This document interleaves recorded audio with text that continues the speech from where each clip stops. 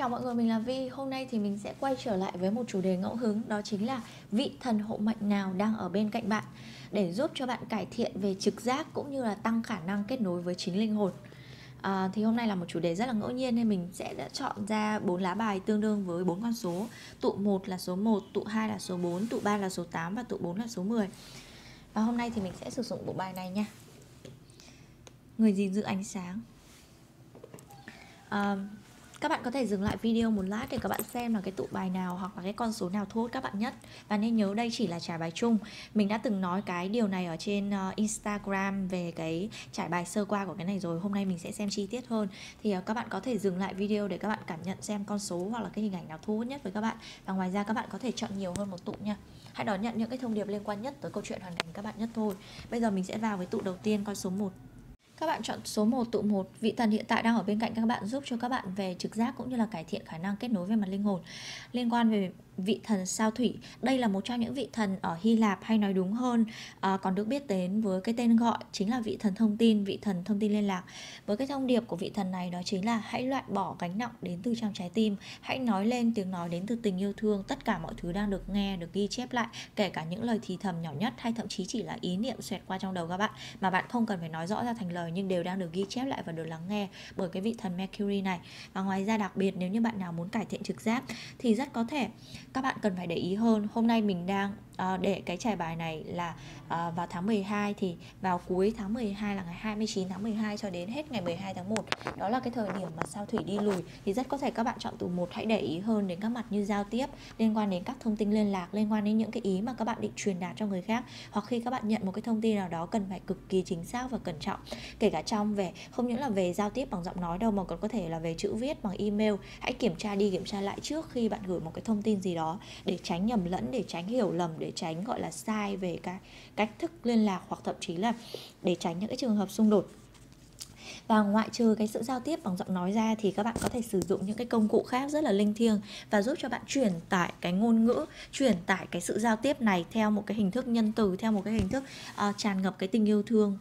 nhiều hơn, đó chính là viết, đó chính là làm thơ. Một số các bạn còn viết báo, một số các bạn có thể là lập ra một cái workbook, lập ra một cái một một cái cái cái cái cái cuốn sổ của riêng mình. Một số các bạn khác có thể là làm video chẳng hạn trong thời gian này thì bạn được gợi nhắc để kết nối sâu hơn về mặt linh hồn. Hãy cởi mở với tất cả những cái sự giao tiếp đặc biệt những cái thông tin quan trọng đang trên tường tới với bạn. Và nó sẽ đến vào cái thời điểm mà uh, bạn nghĩ là nó sẽ không xảy ra nhất đó chính là vào thời điểm cuối tháng 12 này. Vào cái thời điểm mà sao thủy đi lùi. Yeah. Mặc dù đúng là trong thời kỳ sao thủy đi lùi có rất là nhiều kế hoạch của các bạn bị đổ bể hay thậm chí là nó bị trì hoãn. Nó đúng hơn không phải là bị bị hủy hay cái gì cả, chỉ là bị trì hoãn thôi. Nhưng mà hãy nhớ trong cái lúc bị trì hoãn đó thì vô hình chung bạn sẽ nhận được những cái thông điệp quan trọng hơn ẩn đằng sau những cái điều đó. Để bạn kịp thời thay đổi hoặc là để bạn kịp thời điều chỉnh chẳng hạn. Và có những cái sự phát triển đến từ bên trong nó sẽ rất mạnh mẽ, sẽ được mang tới cho bạn trong cái thời kỳ mà tưởng chừng như nhiễu loạn ở bên ngoài đó. Bạn có thể nghe thấy tin tức thông qua đối tượng là từ một người bạn cũ này, hoặc một thành viên gia đình này, hoặc có thể đấy là một cái cơ hội mà cuối cùng bạn cũng hiểu rằng là tại sao nó lại khó khăn với bạn như vậy? Tại sao đối với những người khác nó lại dễ dàng? Tại sao với bạn nó lại chật vật như vậy? Tại sao bạn cứ làm hết lần này lần khác nó vẫn gặp trắc trở? Tại sao cứ mỗi lần bạn định nghĩ cho bạn bạn định làm cái gì đó thì tự nhiên lại có một cái cái cái cái sự chen chân vào khiến cho bạn không thể nào hoàn thành được? Bạn sẽ hiểu hoàn toàn cái lý do. Và ngoài ra rất có thể uh, sau khi nhận được những thông điệp đó thì bạn sẽ rõ ràng hơn về cái trường hợp hoàn cảnh nơi mà bạn thậm chí là kể cả về những cái địa điểm mà bạn từng nghĩ là bạn không thuộc về đó bạn từng nghĩ là bạn cảm giác rất khó chịu hay thậm chí là có những sự hiểu lầm nó sẽ được hóa giải bằng cái việc là bạn thay đổi cái góc nhìn của bạn thông qua cái việc là bạn biết được cái sự thật kia. À, và đặc biệt ở đây cái thông điệp là hãy loại bỏ gánh nặng đến từ tận trong trái tim khi mà gánh nặng đã được loại bỏ trong trái tim trái tim là nơi nắm giữ linh hồn và đặc biệt là trái tim cũng là nơi mà truyền tải cái thông điệp của tình yêu thương một cách vô điều kiện nhất. Thì ở đây nó chính là cái cánh cửa duy nhất và cũng là con đường để bạn làm gì? Sống một cái cuộc sống đầy đủ tình yêu thương đầy đủ sự nhân từ, đầy đủ lòng tha thứ. Và bên cạnh sự giao tiếp, bên cạnh sự lan tỏa thì cái việc lắng nghe cũng là cái điều cực kỳ quan trọng. Thực ra trong sự giao tiếp nó sẽ là hai chiều. Yeah. Thế nên là trong cái thời điểm mà uh, nửa cuối tháng 12 cho đến nửa đầu năm tới các bạn cần phải thực hiện lắng nghe nhiều hơn nữa để có thể kết nối được hơn với cái trực giác. Và đặc biệt nha bạn đang được hỗ trợ rất nhiều bởi sao thủy giúp cho các bạn nghe một cách rõ ràng hơn về mặt thông điệp đón nhận một cách đón nhận một cách trung thực hơn. Và đặc biệt là những gì bạn gửi ra thì cũng được lắng nghe thì đấy là toàn bộ những cái thông điệp mà mình truyền tải cho các bạn trong độ 1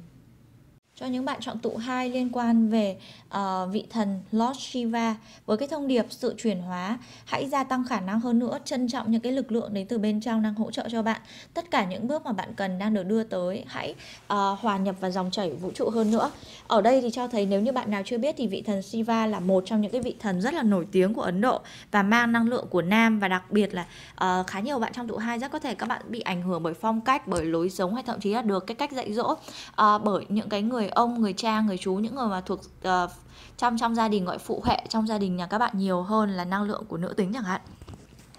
Và ngoài ra ở đây mình còn thấy được rằng cái việc là uh, quay trở lại với với với đặc tính của vị thần Siva này thì đây là một trong vị thần ở trên uh, cổ của vị thần này đeo của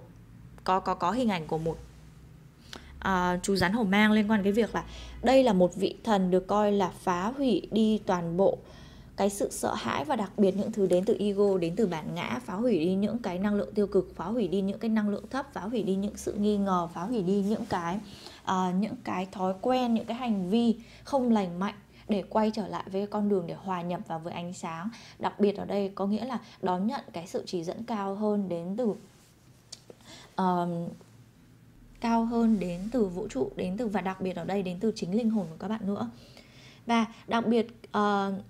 cái cái vị thần này còn được biết đến được là một trong những người mà là là cái cây cầu kết nối giữa trái đất và cả, và những cái hành tinh khác, đặc biệt là những cái hành tinh thuộc cái năng lượng tần số cao từ từ những cái luân xa 7 8 9 10 trở lên nha. Và đặc biệt thời điểm này tại sao vị thần Shiva lại xuất hiện bên cạnh bạn lúc này là bởi vì để cho bạn thức tỉnh sâu hơn và để cho bạn nhận ra bạn thật sự là ai và cái mục đích sống còn của bạn trong cái kiếp sống này là gì và cái sự kết nối cực kỳ sâu sắc bạn đặc biệt thế nào bạn khác biệt ra sao so với những người xung quanh của bạn. À, thay vì cái việc là bạn à, thay vì những người khác họ chỉ làm vì à, như kiểu về cái cuộc sống hàng ngày thì bạn nhận ra bạn khác biệt bạn nhận ra bạn có cái mục đích sống riêng và hãy cam kết về cái việc đó. Khá nhiều các bạn chọn tụ hai là các bạn đang trải qua cái thời kỳ thức tỉnh nhưng không phải là thức tỉnh lần đầu tiên nhưng nó sẽ là một trong những lần thức tỉnh để bạn thay đổi được cả cái chuỗi DNA của các bạn. Các bạn đang thức tỉnh rất sâu và đặc biệt mọi thứ đang rõ ràng hơn bao giờ hết tại thời điểm này. Bạn sẽ biết chính xác cái điều bạn cần phải làm, nơi bạn cần phải đi. Cái người bạn cần phải gặp mà bạn không cần phải chứng minh với ai, bạn không cần phải nói với ai, bạn không cần phải bảo là ở đấy, tôi biết là tôi có khả năng đấy. Thực ra bạn chỉ cần cảm nhận thấy thế là bạn sẽ thực hiện và hành động luôn. Đây cũng có thể là điểm khác biệt so với bạn của những cái ngày trong quá khứ. Ví dụ như nếu lúc trước là bạn vẫn còn trì hoãn hoặc bạn vẫn còn nghi ngờ, bạn vẫn còn chưa thật sự biết là có thật là đấy là điều bạn nên phải làm hay không, hay đấy là những điều đến từ ego bản ngã, thì bây giờ bạn biết hơn rồi. Và ngoài ra đây cũng là cái thời điểm rất là quyền lực về cái việc là bạn đang được chuyển hóa từ những cái giới hạn, biến những giới hạn hoặc là cái danh giới mà bạn từng nghĩ bạn không thể làm được trở thành những cái điểm mạnh của các bạn. Bạn vượt qua cả giới hạn mà bạn đã từng đặt ra cho bản thân. Và đây cũng là cái thời điểm mà có khá nhiều bạn trong tụ hai, có thể như các cái ý tưởng mang cái tính đột phá, những ý tưởng sáng tạo, nó đến với các bạn rất nhanh. Và linh hồn của các bạn có thể là sẽ có cái sự gọi là di chuyển, sẽ có cái sự đi lại, gặp nhiều cái giấc mơ mà nó mang cái tính nó rất là vi diệu nhiều hơn yeah, nó không đôi lúc nó không còn nằm ở trong thế giới 3D này nữa Và đặc biệt ở đây nếu như bạn nào đang gặp vấn đề với luân xa số 6 thì hãy thiền định và uh, nếu không nếu không thiền định thì hãy chỉ cần đọc cái câu câu của vị thần Shiva này thôi đó chính là Om. Om chính là cái cái cái câu thần chú của cái luân xa số 6 con mắt số 3 thì vừa rồi là toàn bộ cái thông tin liên quan cái việc là làm thế nào bạn kết nối được sâu hơn với uh, trực giác cũng như là cải thiện sự kết nối với mặt linh hồn. Tụ ba cho những bạn chọn con số 8 Vị thần đang hỗ trợ cho bạn cải thiện trực giác và sự kết nối linh hồn. Đây chính là một vị thần rất là quen thuộc mình hay nói trong các trải bài. Vị thần Ganesh. Vị thần Ganesh thực ra tên đầy đủ chính là Ganapataya và đây cũng là một cái vị thần Hindu là như các bạn đã thấy chính là một vị thần mà bên trên là uh, đầu voi. Đây là vị thần là con chính là con của vị thần Shiva và con của nữ thần Parvati. Thì vị thần Shiva vừa nãy trong tụ 2 thì có thể tụ 2 tụ 3 các bạn có thể nghe thêm thông điệp nha. Uh, về cái vị thần này thì chức năng nhiệm vụ thì hiện tại vị thần này đang ở bên cạnh giúp đỡ các bạn trong tụ ba liên quan về trực giác cũng như là về khả năng kết nối linh hồn là bởi vì rất có thể khá nhiều bạn tụ ba hiện tại là các bạn đang có những cái trận conflict uh, mâu thuẫn xung đột với chính bản thân của bạn và bạn cũng đang là cái nguyên nhân tự tạo ra những rào cản để khiến cho những cái vấn đề trong cuộc sống các bạn nó lại càng rơi vào tình trạng hơi bế tắc hơn nữa. Bạn cảm giác là không có lối thoát hay thậm chí bạn cảm giác lúc nào cũng đau đầu khổ não chỉ vì cái vấn đề đấy ngày này qua ngày khác giờ này qua ngày khác à, giờ này qua giờ khác hoặc tháng này qua tháng khác chẳng hạn nó cứ lặp đi lặp lại. Và nhiều lúc bạn rất muốn là ra khỏi trường hợp đấy nhưng chưa biết làm cách nào. Thì đây chính là cái sự giúp đỡ đến từ vị thần này. Vị thần Ganesh không chỉ mang lại cho bạn về cái ánh sáng về sự rõ ràng thông qua những cái trường hợp hay câu hỏi đến từ bên ngoài mà cũng giúp bạn làm gì? Làm rõ hơn những cái vấn đề đến từ bên trong của bạn. Và khi mà những cái khó khăn này mà gia tăng á hãy biết rằng vị thần này chỉ muốn nhắc nhở bạn rằng là bạn càng nên tập trung hơn vào con đường của bạn. Và bạn luôn luôn là người nắm giữ câu trả lời. Bạn có khả năng để thay đổi trường hợp hiện tại. Mọi thứ nó không phải là lâu dài nó chỉ là tạm thời thôi. Vị thần Ganesh ở đây để giúp bạn. Hãy cảm ơn uh, vị thần này kể cả bạn đã nhìn thấy kết quả hay chưa và để gia tăng sự kết nối với vị thần này thì lại một lần nữa bạn có thể thiền cái câu mà của vị thần Ganesh hay sử dụng. Thì chắc chắn là những bạn nào mà theo đạo Hindu hoặc là những bạn nào đã từng đã từng thờ cái vị thần Ganesh này thì thì sẽ biết. Còn nếu không thì đây là cái câu câu câu câu dành cho các bạn. Om Gam Ganapataya Namaha. Đó, thì đấy là câu thiền dành cho các bạn và ngoài ra nha, hãy nhớ rằng tất cả những gì mà vị thần Ganesh đang cố gắng phá hủy hoặc đang cố gắng như kiểu thay đổi trong cuộc sống của bạn, đôi khi tạo ra một vài rào cản nữa là bởi vì muốn bạn thật sự tập trung vào những điều tốt nhất cho cái mục đích và hành trình của bạn, chứ không phải là những gì nhất thời, chứ không phải những gì mà bạn chỉ muốn là uh, hôm nay nó hết và ngày mai tự nhiên nó lại lặp lại. Ví dụ như là đôi khi các bạn trong tụ ba còn chưa phân biệt được những điều mà các bạn thật sự cần với những điều mà các bạn muốn Và nên nhớ rằng thực ra vị thần Ganesha hay vũ trụ nói chung chỉ đang muốn bảo vệ bạn khỏi những cái con đường không phù hợp để tạo ra cái con đường hoàn hảo và cái con đường phù hợp nhất cho bạn. Con đường này có thể liên quan đến một công việc, con đường này có thể liên quan đến một mối quan hệ tình cảm, con đường này có thể liên quan đến cái hành trình, mục đích sống và những cái thái độ sống của bạn. Nó có thể liên quan đến nhân sinh quan, thế giới quan của các bạn nữa. Thì vừa rồi là những cái thông điệp mà mình truyền tải cho các bạn trong tụ A, bây giờ mình sẽ sang với tụ cuối cùng tụ 4 số 10 Vị thần hộ mệnh cho các bạn đó chính là Đức Phật với thông điệp gia tăng hơn về sự nhận thức. Tất cả mọi thứ bạn đã học thì bây giờ cần phải được thẩm thấu và được đào sâu hơn. Hãy kết nối sâu sắc hơn nữa và làm rõ hơn nữa những gì mà bạn đã đã biết, đã học, đã kiểm chứng. Hãy tin tưởng vào tiếng nói đến từ bên trong khá nhiều bạn trong tụ 4 hình như là các bạn uh, có theo đạo Phật hay nói đúng hơn là có thể là các bạn còn đang tu tập ở những cái trình độ mức độ khác nhau nữa. Nhưng chắc chắn một điều là khi mà nhắc đến tụ này thì để tiếp tục gia tăng về trực giác và cái sự kết nối về mặt linh hồn nghĩa là bạn đang đi sâu hơn về những cái khía cạnh về mặt tâm linh tinh thần đó thì đây là cái lúc để bạn tiếp tục gia tăng sự kết nối đặc biệt đến cái vị đặc biệt đến với Đức Phật liên quan đến cái việc là bạn đã được chỉ dẫn trực tiếp để tự trở thành cái người thầy giáo, những người cô giáo cho chính mình và bạn đang được Đức Phật khuyến khích rằng là hãy kích hoạt nhiều hơn nữa.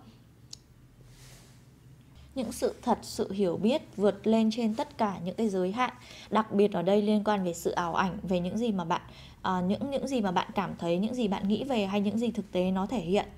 và đặc biệt ở đây nỗi sợ cũng đóng vai trò như là một ảo ảnh sẽ được tạo ra để làm gì? Kiểm chứng xem bạn đã thật sự bạn đã hiểu về cái vấn đề đó hay chưa? Bạn đã trải qua những cái uh, bạn khi mà bạn học xong bạn đọc xong thì liệu bạn đã thẩm thấu được hay chưa? Hay vẫn cần phải học tiếp? Hay vẫn cần phải học lại chẳng hạn? Và ngoài ra đây là cái thời điểm mà bạn đang được kêu gọi hãy tập trung nhiều hơn nữa và ưu tiên nhiều hơn nữa vào những điều sẽ phục vụ cho bạn và sẽ thật sự tốt cho bạn trên cái hành trình bạn đang đi. Tất cả những cái nỗi đau nó đang đi đến hồi kết thúc. Nhưng mà hãy để ý hơn đến cái việc bạn thật sự cảm thấy như thế nào. Thay vì việc trốn tránh, thay vì cái việc là cứ nói là mình ổn, mình không sao thì hãy cứ chấp nhận cái cảm xúc như là cái cách bạn trải qua một cách trung thực nhất, nhưng không để mọi thứ nó nhấn chìm bạn. Nếu như bạn cảm giác quá khó khăn thì hãy kêu gọi đức phật trong cái lúc mà bạn thiền định hoặc trong cái lúc trước khi mà bạn ngủ, khi mà bạn cầu nguyện chẳng hạn, để làm gì? Giúp bạn nhớ ra, bạn thật sự là một cái thực thể rất là xinh đẹp và cực kỳ đóng vai trò rất là quan trọng. Và tất cả những gì bạn trải qua nó sẽ không là gì so với những phần thưởng sắp tới. Thực ra ở đây còn đánh dấu một điều nữa, đó chính là bánh xe số mận, bánh xe số phận. Cái vòng tròn luân hồi, sự nghiệp quả. Những gì mà bạn cần trải qua bạn đã trả xong và bây giờ sắp sửa tất cả mọi thứ đều được biến hóa khôn lường. Và đặc biệt là sẽ đi theo cái cái xu hướng mà bạn uh, từng mong từng mong ước từng thích thú hay thậm chí là khiến cho bạn hoàn toàn gọi là cảm thấy trọn vẹn ở trong đó. Hãy luôn nhớ rằng dù làm gì dù đã nhận được phần thưởng hay chưa hay là bạn tương tác với ai luôn luôn hành động với cái sự tốt bụng với cái lòng nhân từ và với những cái cái điều mà bạn đã được đức phật hoặc là người nhà phật gian dạy hãy để ý hơn đến các khía cạnh trong trong cuộc sống. Bên cạnh cái con đường bên cạnh những cái việc bạn ưu tiên hãy để ý hơn đến những khía cạnh trong cuộc sống. Ví dụ như nhà cửa ví dụ như các mối quan hệ ví dụ như à, tình cảm cha con mẹ con tình cảm. À, hãy để ý hơn đến sự tương tác giữa anh chị em hãy để ý hơn cả đến những cái cái người bạn. Hay nói đúng hơn có cả những cái chủ thú cưng của các bạn nữa. Và nên nhớ rằng tất cả những cái thông tin hoặc tất cả những cái bộ phim bạn xem, tất cả những cái dấu hiệu, tất cả những con số thiên thần, tất cả những giấc mơ hay tự nhiên là đôi khi một ngày bạn ghi ra một cái dòng chữ gì đó. Hoặc tự nhiên là bạn được thôi thúc làm một cái điều gì đó, tự nhiên bạn có ý tưởng để để làm thứ gì đó mà trước giờ bạn chưa làm, nó rất là mới mẻ với bạn. Thì hãy nhớ rằng thực ra là đức phật đang truyền cái nguồn cảm hứng và truyền thông tin cho bạn để bạn thực hiện. Yeah. thế nên là đừng bỏ lỡ nha. Thì vừa rồi là toàn bộ cái thông điệp đến từ bốn tụ của ngày hôm nay thì mình mong là mỗi bạn đã nhận được uh, thông điệp dành cho tụ của các bạn nếu các bạn thích cái video này các bạn hãy like, subscribe, ấn vào nút chuông đăng ký và share để không bỏ lỡ những cái thông tin mới nhất đến từ mình nha. Ngoài ra nếu như các bạn muốn xem thêm các chủ đề về tâm linh, tinh thần, chữa lành đứa trẻ bên trong hoặc các